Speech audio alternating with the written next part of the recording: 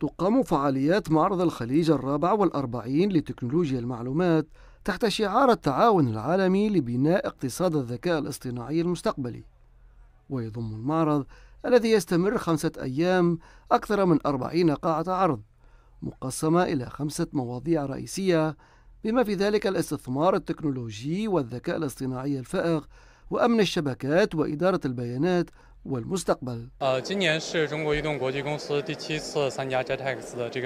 هذه هي المرة السابعة التي تشارك فيها شركة تشاينا موبيل انترناشونال في معرض جيتكس. في الواقع يمكننا نشعر بأن المنافسة الرقمية قوية في منطقة الشرق الأوسط وأن التطوير الاستراتيجي لكل دولة خصوصا الإمارات يتجه نحو التحول الرقمي لذلك نأمل أيضا في استخدام قدرات الشركة في التحول الرقمي واتصالات أساسية لنقدم منظورا مختلفا لإظهار كيفية مساعدة الشركات الصينية في تحقيق التحول الرقمي وارتقاء بخدمات الاتصالات إلى مستوى أعلى.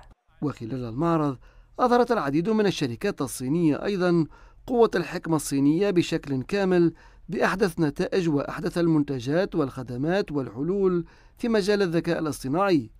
وحظيت باهتمام واسع النطاق. وفي اليوم الأول من المعرض قام محمد بن راشد نائب رئيس دولة الإمارات ورئيس مجلس الوزراء وحاكم دبي بزيارة إلى قاعة العرض الخاص بشركة خواوي وغيرها من القاعات الأخرى لمناقشة أحدث التقدمات في مجال الذكاء الاصطناعي والحوسبة السحابية والتحول الرقمي مع قادة الصناعة. ربطت شركة هواوي سيناريوهات التطبيق الفعلية بالنموذج الكبير منذ المراحل الأولى لتدويره على سبيل المثال في مجال الأرصاد الجوية فربطنا النموذج الكبير بانجو بسيناريو تنبؤ بالطقس. في الواقع تستخدم العديد من مكاتب الأرصاد الجوية حول العالم بما في ذلك تلك التي في أوروبا والشرق الأوسط نموذجنا الكبير لإجراء تنبؤات بالطقس في الوقت الفعلي.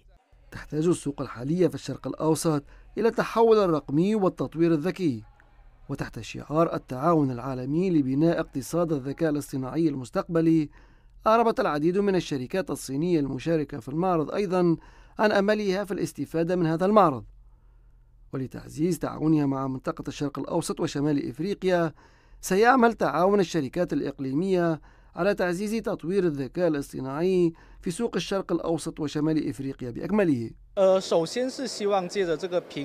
نأمل أن نستخدم هذه المنصة لعرض التصنيع المتقدم في الصين كما يمكن أن يؤدي ذلك إلى تعميق التعاون بين الصين والإمارات في التكنولوجيا حتى في مجال الطيران 科技，还有 Eviteo，甚至航空领域的一些合作。